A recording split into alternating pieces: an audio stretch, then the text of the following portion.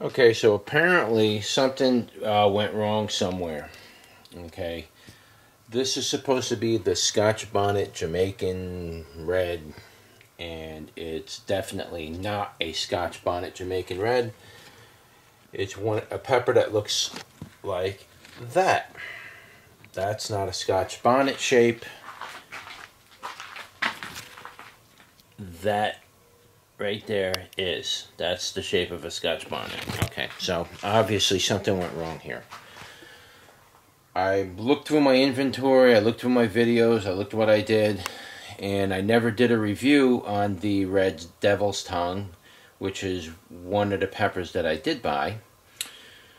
And somewhere along the line, it the, the tag must have fell out and I put it back and it might, probably was put back in the wrong spot, but somewhere along the line, I don't have any Scotch Bonnet Jamaican Red Pepper. So the Scotch Bonnet Jamaican Red Pepper is missing. It looks like this is more than likely a Red Devil's Tongue, which is probably what that is, but I don't know for sure. I have no positive, posit positively way of knowing what that is. So unfortunately, when you're doing uh, seed saving and you're, you're creating your own seed bank, you can't take those kind of chances, and I have to restart this whole uh, Scotch bonnet Red Devil's Tongue thing all over again from the beginning. So I figure I would make a video on me going right from seed right to uh, you know harvest. And hopefully I can get something by the end of the year. These I don't believe these are usually the kind of plant that takes forever to sprout.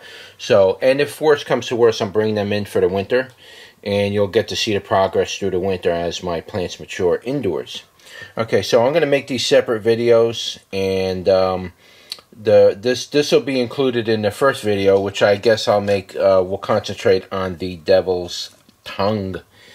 All right, so let's show you the seeds. Okay, if that can focus. I don't know if it's focusing because I don't have my glasses. We're going to dump a bunch in there. That's all you need. And I need. That's even way too many, because if these all sprout, I'm. You know me. I don't. I don't get rid of them.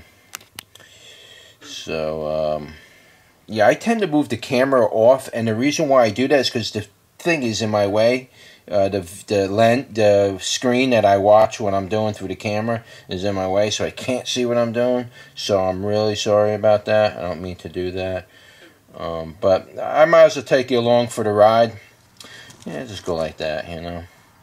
I really don't like pulling out plants that start nice, you know. And that's all I do. I just you just want to get them covered with dirt, and then once I water them, they will um, they will um, uh, they'll sprout, and you know we'll pull out what we don't need and replant them or something like that. But anyway, that is the um, Devil's Red Tongue. This is a, a, a going to be a start from the beginning, from right where I start with the seeds. Today is July 20th. It's approximately 7.30 in the morning, and it's 2016. Okay, so you can watch the progress of this plant grow, and you can get an idea of how it's going to grow for you. And also keep in mind, too, that we're in the uh, mid to 80s to the mid 90s, 100 degrees every day. So take that into consideration as far as uh, the plant coming up either quicker or slower. Um, so just take that. If you're starting them indoors, you're going to want to use a heat mat and things like that. So, all right. So uh, that's the uh, Devil's Red Tongue. Okay, so here's uh, the Devil's Tongue page that I have set up. Here's the seeds. It's from um, pepperlovers.com. You can see I still have plenty of seeds left, even though I just planted them in the thing. There's about what you get left. You see there's a lot of debris in there. Uh, that's just the way it comes. Uh, you know, they don't really clean up the seeds very well. But if they sprout, that's all I care about. You know. Uh, anyway, I paid um, two bucks for the seeds. Not bad at all. Pepperlovers.com. Got you can see the date right there. That's when I bought them. And this is about all the details I got on it. So you can read that. I'll put it in the description below. And uh, the Scoville units are what you see, 125,000. So these are pretty hot. This is probably something I'd be a little, I don't know, I'd be a little, I don't know if I'd do this on camera.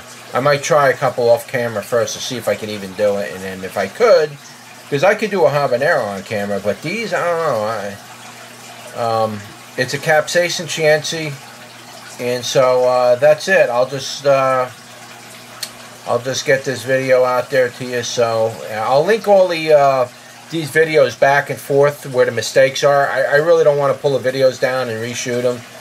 Um, so hopefully that's not a problem. If it if it does become a problem then I will have to reshoot the video and just do it all over again. So, but uh, okay, that's the Devil's Tongue Red Pepper, pepperlovers.com.